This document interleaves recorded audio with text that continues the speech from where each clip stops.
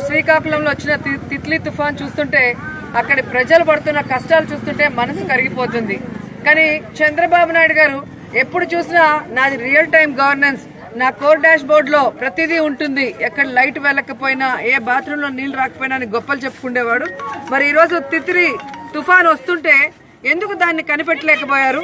మరి దాని గురించి తెలిసి కూడా ముందస్తు చర్యలు ఎందుకు చేపట్టలేదని నేను అడుగుతున్నాను. ఎందుకంటే ఈ రోజుకి ఒక వారం అవుతుంది.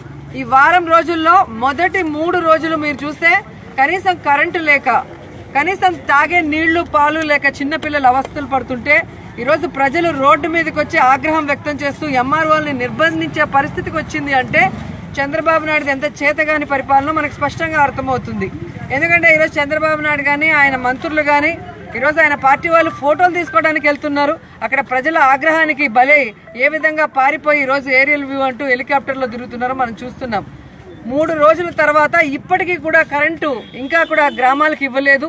ఎక్కడా కూడా బియ్యము పప్పులు మరి అదేవిధంగా పాలు నీళ్ళు అందించే పరిస్థితిలో ఈ ప్రభుత్వం లేదు అంటే ఎంత చేతగాని ప్రభుత్వం మనం ఆలోచించుకోవాల్సిన అవసరం ఉంది. ఈరోజు జగన్మోహన్ రెడ్డి గారు ప్రతిపక్షంలో ఉన్న ఒక బాధ్యత కలిగిన ప్రతిపక్ష నాయకుడిగా ఈరోజు వైఎస్ఆర్ కాంగ్రెస్ పార్టీ అప్పులు తీర్చాలన్న ఆలోచన లేకపోవడం అనేది చాలా దురదృష్టకరం. ఇలాంటి ముఖ్యమంత్రిని మరి ప్రజలు ఎన్నుకున్నందుకు ఈరోజు అందరూ కూడా బాధపడుతున్నారు.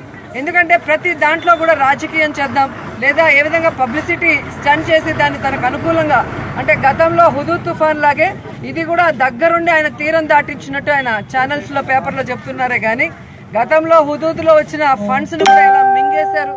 కనీసం చిన్న చిన్న రిపేర్లు కానీ చిన్న చిన్న ఉన్న ప్రభుత్వం మీద నమ్మకంతో ఇచ్చిన ప్రతి పైసా ప్రజలకు అందుతుంది. ఆ ప్రజల కష్టం తీరుస్తుంది అని చెప్పి అందరూ పంపించడం జరిగింది. కానీ చంద్రబాబు నాయుడు ఇక్కడ ముఖ్యమంత్రిగా ఉండటం వల్ల కనీసం ఆ బాధితులను ఆదుకోవడానికి డబ్బులు ఇచ్చినా అది వాళ్ళ వరకు పోదు. మధ్యలో ఈ తెలుగుదేశం పార్టీ వాళ్ళు మింగేస్తారన్న ఆలోచనతో అటు ఎవరు కూడా హెల్ప్ చేయలేని పరిస్థితికి వచ్చిందంటే దానికి కారణం చంద్రబాబు నాయుడు కాదా నేను అడుగుతున్నా. ఇప్పటికైనా తన పబ్లిసిటీ స్టంట్ని పక్కన పెట్టి ఆ గ్రామాలలో కరెంటు కనెక్షన్ ఇవ్వండి వాళ్ళకి తాగునీళ్ళు అలాగే పిల్లలకి పాలు మరి అందరికీ కూడా బియ్యం పప్పులు అన్ని కూడా అందించాల్సిన అవసరం ఉంది. అది వెంటనే చేయాలని కూడా డిమాండ్ చేస్తుంది